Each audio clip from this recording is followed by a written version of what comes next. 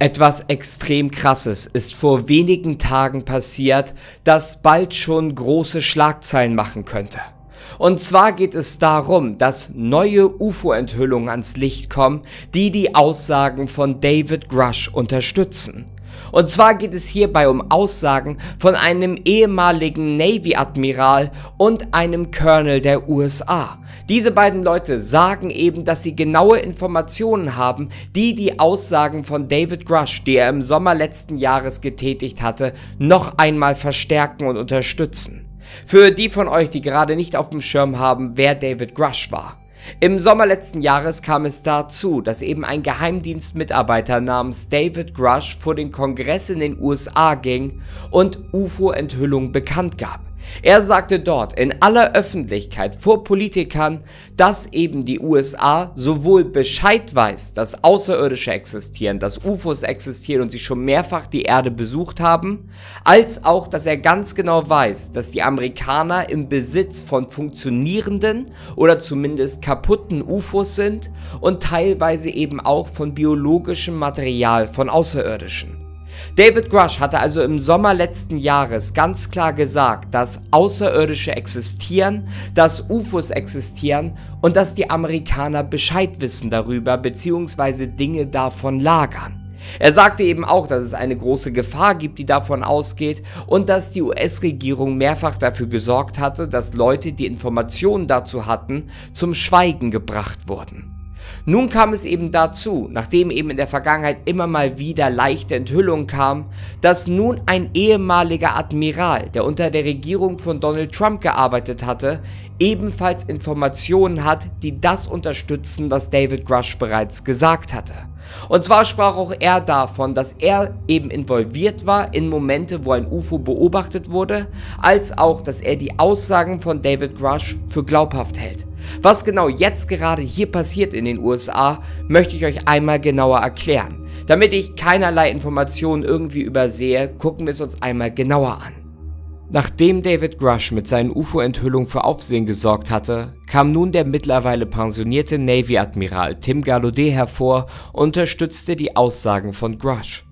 Gallaudet hatte unter Trump die NOAA geleitet. Dies war die National Oceanic and Atmospheric Administration. Dies ist die Wetter- und Ozeanografiebehörde der USA, die bereits seit 1970 existiert. Vor kurzem hatte Gallaudet dann ein Interview mit dem Sender News Nation vereinbart, um dort von einer gruseligen Erfahrung zu berichten, die er hatte bzw. von der er zusätzliche Informationen bekam. Er sagte so, dass eine seiner Aufgaben die des Chefmeteorologen bei der Marine waren. Diese Stelle hatte er zeitgleich inne, als die Orion Artemis I, dies war ein Raumschiff der Amerikaner, vor der US-Ostküste auf ein UFO traf. Ihr müsst wissen, Gallaudet sagte, dass eben in dem Übungsluftraum an der Ostküste, wo man den Start und andere Luftmanöver testete, ein oder mehrere UAPs bzw. UFOs gesichtet wurden. Dabei kam es mehrfach beinahe zu Zusammenstößen in der Luft. Obwohl dies extrem gefährlich war und eigentlich keinerlei Flugobjekte etwas in diesem Luftraum zu suchen hatten, unternahm die Marine nichts gegen die seltsamen Objekte, die das ganze Projekt eben behinderten. Beinahe so, als würden sie versuchen, diese Objekte zu ignorieren, so zu tun, als wären sie gar nicht da, weil sie sie scheinbar nicht angreifen durften. Gallaudet sprach davon, dass auch E-Mails zu der Thematik, die er auf seinem Computer hatte, plötzlich entfernt wurden von eben der CIA, von der Marine oder von der Regierung. Der Grund dafür war, dass diese Informationen nicht an die Öffentlichkeit gelangen dürften. Seine Meinung, und hier unterstützt er erneut David Grush, ist, dass die USA wissen, dass schon mehrfach eine nichtmenschliche Intelligenz uns besuchte, die mit einer Technologie ausgerüstet war, die wir nicht verstehen, und die Intentionen hat, die wir ebenfalls nicht verstehen können.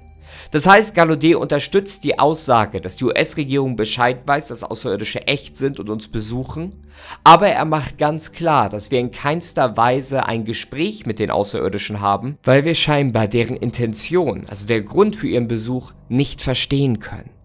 Die Aussagen von Gallaudet deuten darauf hin, dass die US-Regierung scheinbar Angst vor diesen Außerirdischen hat. Dies würde erklären, warum sie eben diese Flugobjekte nicht angreifen, und zwar weil sie eine Konfrontation vermeiden wollen. Deswegen hoffen sie, dass wenn sie die Flugobjekte ignorieren, alles gut laufen wird und es zu keinem Zusammenstoß kommt. Da scheinbar kein direktes Gespräch zwischen der Regierung und den Außerirdischen herrscht, ist dies wahrscheinlich der beste Weg, um einen Konflikt oder Krieg oder ähnliches zu vermeiden. So jedenfalls die Interpretation unterschiedlichster Leute, die sich die Aussagen von Gallaudet angesehen hatten. Ihr müsst wissen, jedes andere Flugobjekt würde vermutlich abgeschossen werden oder zum Umkehren aufgefordert werden, wenn es über ein Militärgrundstück fliegt oder über ein Testgelände. Sollte es sich bei den genannten Objekten tatsächlich um UFOs handeln, die von Außerirdischen betrieben werden, dann kann es einem durchaus schon Angst machen, wieso die Marine sich nicht traut, mit ihnen zu interagieren. Auch unterstützten Gallaudets Aussagen die Vorwürfe, dass die US-Regierung und die CIA aktiv versuchen, andere Leute zum Schweigen zu bringen, die versuchen, Dinge zu veröffentlichen oder mehr zu erfahren. Auch Grush hatte ja gesagt, dass unterschiedlichste Leute zum Schweigen gebracht wurden, teilweise es ihnen Gewalt angetan wurde, damit sie eben keine neuen Informationen preisgeben. Hier sagte Gallaudet ja auch, dass zum Beispiel E-Mails, die er gekriegt hatte, gelöscht wurden oder entfernt wurden, weil er die Informationen nicht haben sollte. Doch nicht nur Gallaudet hatte neue Aussagen getroffen. Auch der ehemalige US Army Colonel Nell sagte, dass es bald zu einer katastrophalen Enthüllung von Alien-Informationen kommt. Laut Washington Insidern, wozu eben Nell auch gehört, gab es im Jahr 2004 eine Vereinbarung bei der CIA, dass Informationen über UFOs und Außerirdische nicht enthüllt werden dürfen, da sie eine zu große Gefahr für die Gesellschaft darstellen. Man geht also davon aus, wenn man die Informationen preisgeben würde, würden die Menschen Panik kriegen, was dort im Himmel alles lauert.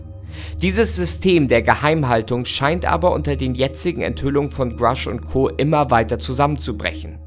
Nell sagte, dass es eine Transparenz geben muss, in der diese geheimen Informationen bekannt gegeben werden, da es ansonsten dazu kommen kann, dass Leaks und Co., die unweigerlich in der Vergangenheit jetzt immer und immer häufiger auftreten, diese Enthüllung übernehmen und dadurch die Glaubwürdigkeit der Regierung stark geschädigt wird. Mit anderen Worten, wenn die Regierung von sich aus nicht bekannt gibt, hey, wir haben diese Informationen, Außerirdische existieren und die Bevölkerung erfährt es tatsächlich nur durch irgendwelche Leaks und Co., könnte dies eben der Glaubwürdigkeit der Regierung sehr stark schaden. So eine Enthüllung könnte also für die US-Regierung sehr gefährlich werden. Auch David Grush sprach davon, dass es eine neue Art der Transparenz geben muss, bei der die Geheiminformationen an die Öffentlichkeit gebracht werden können. Wir haben auf jeden Fall hier von zwei neuen, hochrangigen, glaubwürdigen und informativen Quellen mehr Infos gekriegt, dass scheinbar dort irgendetwas verheimlicht und versteckt wird. Also, dies sind die Dinge, die grundsätzlich veröffentlicht wurden. Die Frage, die viele Leute sich jetzt natürlich stellen, ist, wie glaubwürdig ist das Ganze? Könnten wir tatsächlich vor einer gigantischen Enthüllung stehen, die nächstes Jahr gemacht wird? Oder ist das Ganze nur ein Tropfen auf dem heißen Stein und wird noch eine ganze Zeit dauern, bis weitere Informationen ans Licht kommen? Die ganze Situation um diese UFO-Enthüllung ist relativ interessant. Und zwar, weil viele Experten sich relativ sicher sind, dass wenn die USA wirklich Bescheid weiß, wenn die USA wirklich weiß, dass Außerirdische existieren und sie vielleicht tatsächlich im Besitz von außerirdischen Materialien sind, dann wäre der Druck, der auf sie lastet, langsam zu groß. Man muss ja wissen, immer dann, wenn der Druck auf die US-Regierung angehoben wurde, wenn die Öffentlichkeit mehr und mehr Informationen wollte, weil sie merkten, da wird irgendwas für uns versteckt, kam es in der Vergangenheit dazu, dass die US-Regierung einknickte. So wurden in der Vergangenheit schon streng geheime Dinge veröffentlicht, wie die Existenz der Area 51. Viele sind sich deswegen sicher, dass wenn die USA wirklich Bescheid weiß über Außerirdische und ähnliches, dass dieser weitere Druck, der jetzt von einem ehemaligen Admiral stammt, dazu führt, dass vielleicht tatsächlich eine große Veröffentlichung ansteht. Genau sagen können wir es natürlich nicht. Die Regierung könnte weiter versuchen, alles totzuschweigen, aber meistens wäre dies eben eine schlechte Idee. Diese katastrophale Enthüllung würde dann nämlich stattfinden, weil irgendwann kannst du es nicht mehr geheim halten, wenn zu viele glaubhafte, seriöse Personen gleiche Aussagen treffen, die belegen, dass Außerirdische echt sind. Ich würde vermuten, dass wir in diesem Jahr mindestens noch einige weitere Aussagen kriegen werden, die eben die Existenz von UFOs bestätigen. Eben andere Leute, die ähnlich sind wie David Grush oder jetzt zum Beispiel der Ex-Admiral. Weitere Personen, die für die Regierung gearbeitet haben und ähnliche Dinge beobachten konnten.